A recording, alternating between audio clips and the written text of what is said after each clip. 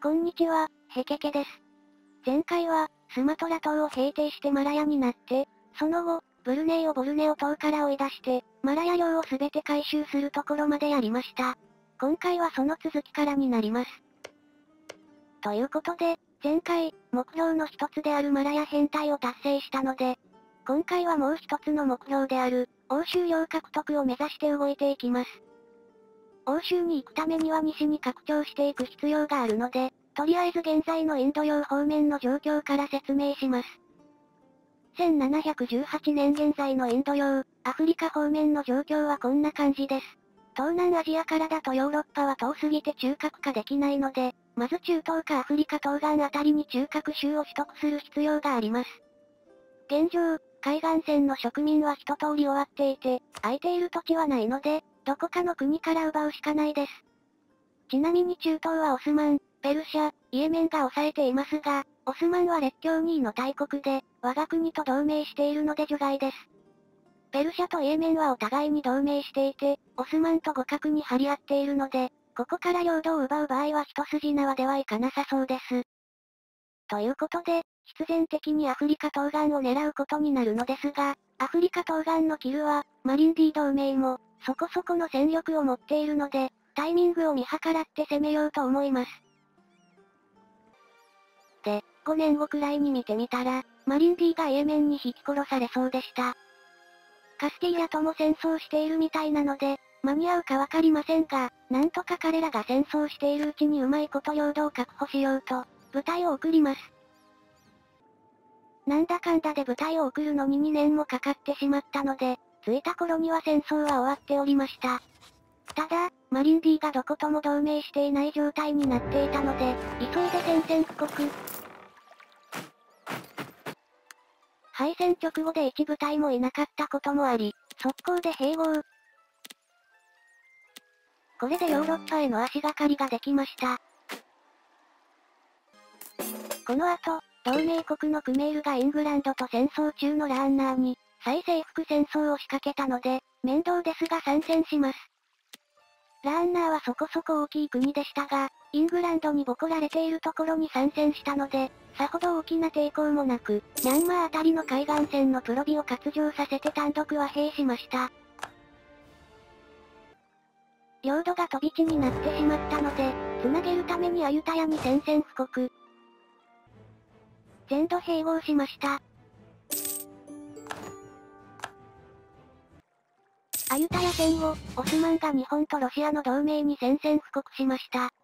一応呼ばれたので参戦しましたが、何のメリットもないし、そもそも手伝えることもほとんどないので、しばらく放置してました。で、数年後ロシアには勝利したみたいです。残りは日本だけなのですが、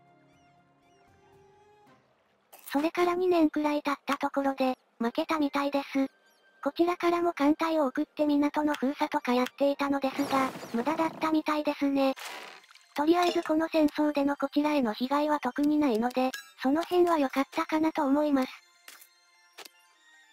で、このすぐ後ラーンナーとの停戦が切れますが、それと同時にクメールにラーンナー戦への参戦を要請されました。クメールは前の戦争を我々よりも長くやっていたのですが、彼らの停戦期間はどうなってるのかな？とか思いながら、とりあえず参戦しておきます。この戦争、クメールより後に参戦してきたはずのフランスに、大部分を占領されてしまったおかげで、かなりグダグダになってしまいました。で、この戦争の最中にアフリカで動きがありました。トスカーナからルアンダプロビが独立してンドンゴという国になったみたいです。アフリカ西岸に領土を持つチャンスなのですぐに兵を送ります。アフリカ諸国に通行権をもらって東岸から部隊を移動。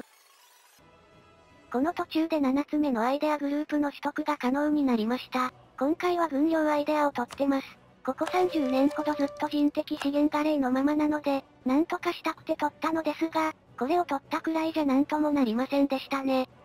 単純に保有している部隊数が多すぎるだけなんですが、それに気づくのはもう少し先です。ということで、話を戻して、うどんご量を獲得するために宣戦布告します。ちなみに第三国から交戦国に部隊を送った場合、敵地を占領できないということを知らなくて、結構無駄なことをしています。結局占領できなかったので、艦隊を送って部隊を一旦艦隊に移動、再び上陸して占領するということをやってました。で、なんだかんだで3年もかかってやっとんどんごを併合、アフリカ西岸にも領土を得ることができました。ちなみにこの間に、クメールの戦争も終了してました。クメールはラーンナーから1プロビを得て和平したみたいです。その後、オスマンとペルシャ、イエメン同盟の戦争に呼ばれました。国境が接しているイエメンのアフリカ領には、ほとんど敵がいなかったので、こちらの戦線は順調に進んでいたのですが、ペルシャ側の国境はそうもいかなかったみたいで、オスマンは負けてしまったようです。とは言っても1プロビ割譲したくらいなので、ここから国家崩壊が始まるとかはなさそうです。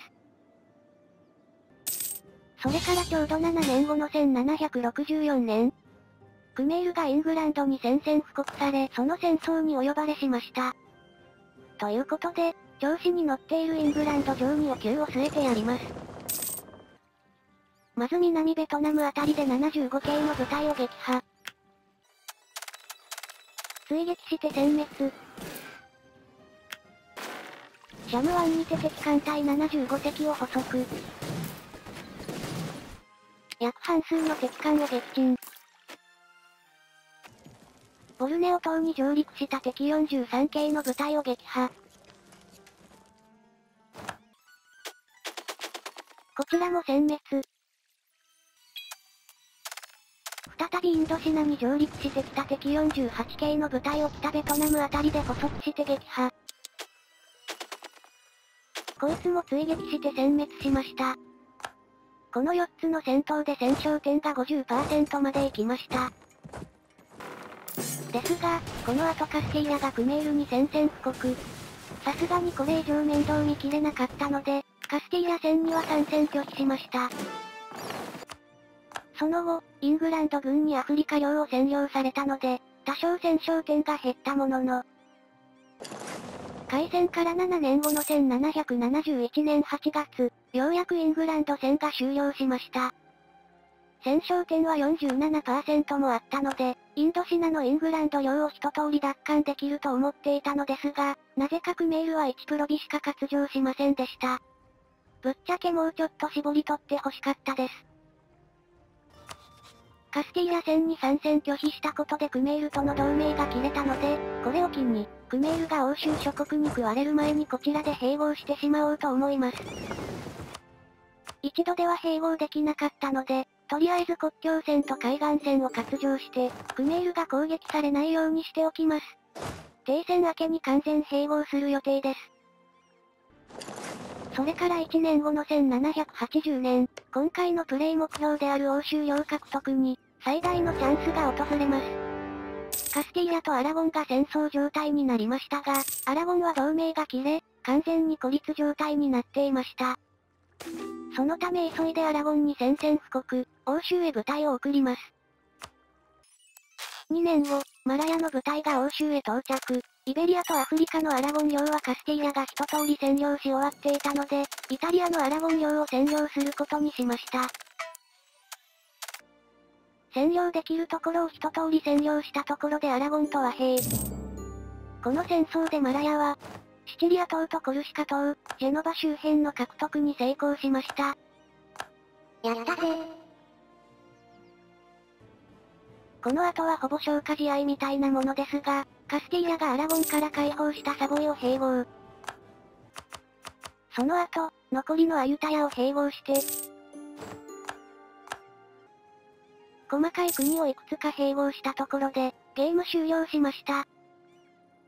スコアはこんな感じです。最後にタイムラインです。今回は序盤の拡張がちょっと遅かったかなーって感じがしてます。マラヤになるのはもう100年くらい早くできると思っているので、それができていればもっと拡張できたかなと思います。とはいえ、目標である欧州領の獲得ができたので、とりあえず合格点ということにしておこうと思います。ということで、今回はここまでです。次回は、まだ詳細は決めていませんが、遊牧民国家が気になるのでやってみようかな、とか考えてます。それでは、ここまでご視聴ありがとうございました。